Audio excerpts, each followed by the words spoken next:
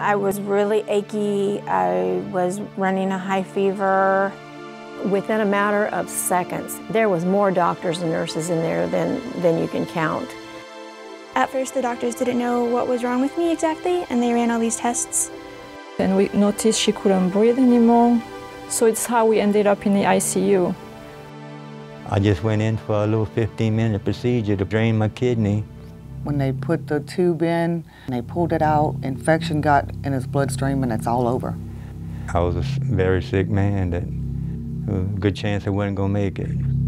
The way they decided to do things was really, really fast. His life was depending on those decisions.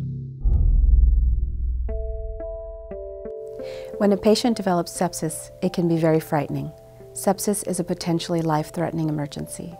While it's normal for the body to respond to infection, sepsis can lead to a catastrophic overreaction, causing your body to go into multiple organ failure, shock, and death, especially if sepsis is not recognized and treated early. MD Anderson's goal and the goal of all healthcare providers is to keep our patients safe from the threat of sepsis, which can be especially dangerous if your immune system is depressed, such as in cancer patients. I've never heard of the word sepsis or septic shock or anything like that. The doctors never, never used the word sepsis. Miguel is uh, our only son. He had a very severe inflammatory reaction in his bowel. It's like a month ago, I didn't know that sepsis was uh, whatever happened to him. Normally, when there's an infection in a specific body part or tissue, the body will fight the infection in the immediate area. The typical signs of this local inflammation are increased temperature, redness, pain, and swelling around the site of the infection. I had noticed where the, the entry was at, where the actual central venous catheter line went into her chest, was red and irritated looking the last time she had cleaned it and changed her bandage. I noticed that it didn't look right to me. Sepsis develops when the infection overwhelms the body's local defense mechanisms, and the resulting germs and toxins spread through the circulatory system, causing an uncontrolled inflammatory response. This can happen regardless of your age, ethnicity, or gender. It can happen to anyone. We could see maybe white cell counts going up. We saw uh, one level called C-reactive protein, okay, that uh, when you have an inflammatory response, it goes up too. I had some sort of rash and they didn't know it was wrong and there was a lot of other stuff going wrong with my vitals, so they ran tests. Once the patient's organs start to deteriorate and blood pressure drops, you can develop septic shock. The best way to treat it is to recognize sepsis as early as possible or try to prevent it altogether. I actually wish that I would have probably just called ambulance because, you know, I don't know that that 12 hours made that big of a difference, but it could have, you know, it could have made a big difference.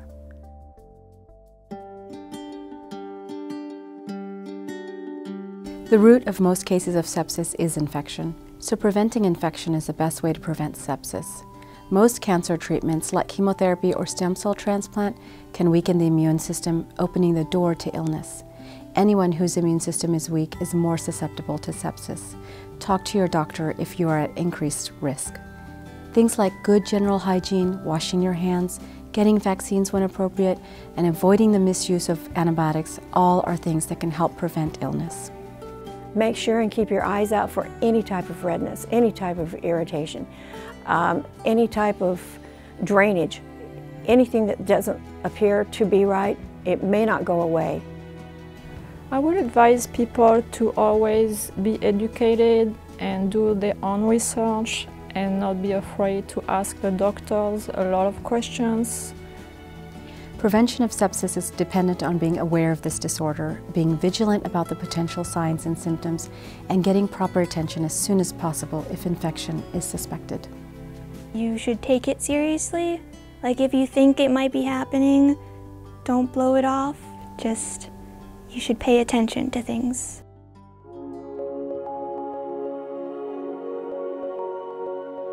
Early detection and appropriate intervention can significantly increase a patient's chances of surviving sepsis. If you're at home and you begin to feel extremely ill or show any of the following symptoms, you should suspect sepsis.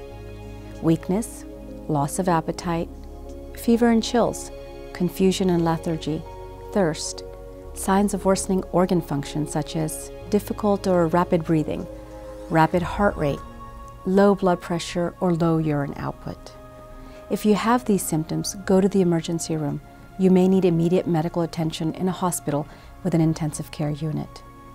When sepsis occurs, every minute counts. The longer it takes to start appropriate treatment and achieve stabilization, the lower the chance of survival.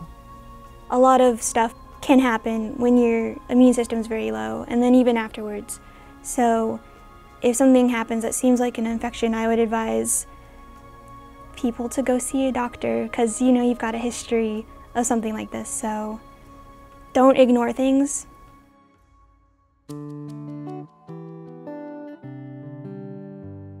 So part of the small bowel and the large bowel were removed in a very, very severe and um, dangerous surgery. He spent like four months in ICU. Yeah. Her blood pressure was had dropped, couldn't get it up, couldn't get it stable. So they sent her to ICU. They put me on all kind of antibiotics. I had like 20 something IVs in me at one time.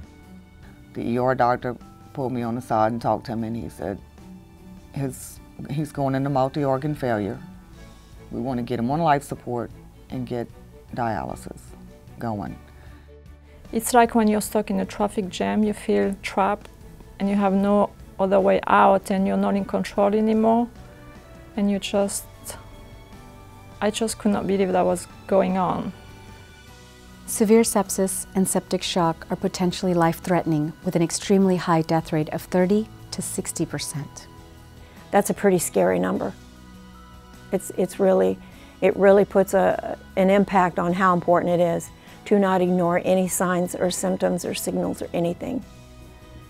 Because, you know, by waiting, it could be, it could be too late.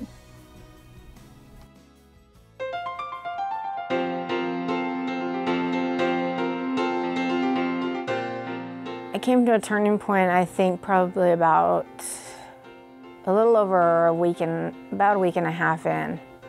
Then they started weaning him off the ventilator, and he was holding that fine, and a lot of the swelling had started going down. Yeah, it's very scary. I'm lucky to be here today. When I started to get better from the pneumonia and the sepsis and everything else on top, they woke me up and I didn't know that it happened at first, but then they told me.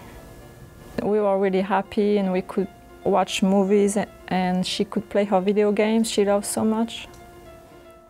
He's having a normal life, that's what we want to. That he can play the whole day. that's the only thing. It's a basic thing.